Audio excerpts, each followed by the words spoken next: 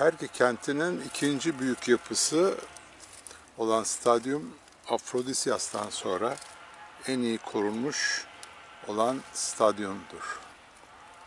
34 metre genişliği ve 234 metre olan boyu ile milattan sonra 2. yüzyıl içinde yapılmıştır.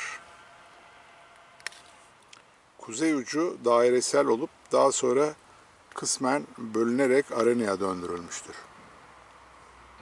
Düz olan güney ucunda şimdi yerinde olmayan anıtsal giriş kapısı vardır.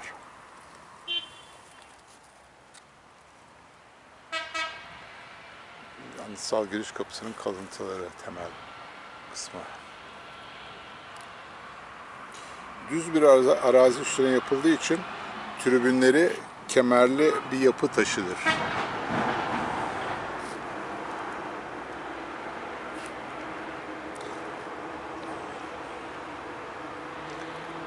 Bu kemerlerin üzerine tribünler e, oturtulmuş oluyor.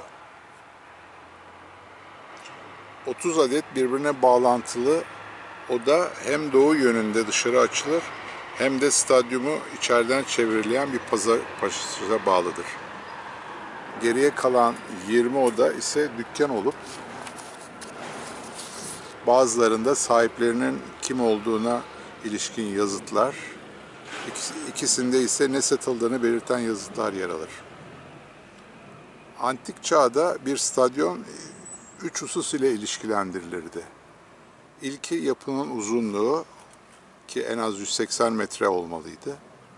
İkincisi yarışmanın türü. Üçüncüsü ise spor müsabakalarının yapıldığı yer olması. Birçok yapı gibi stadyonlar da mimari açıdan farklılıklar gösterirler.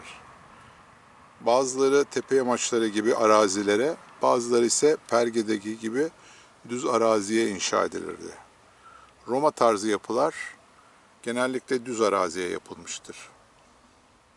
Stadyum bölümleri olarak koşu alanı, tribünler, giriş çıkış kapıları ve yarım daire şeklinde dönüş kısmı olan fendonlar sayılabilir.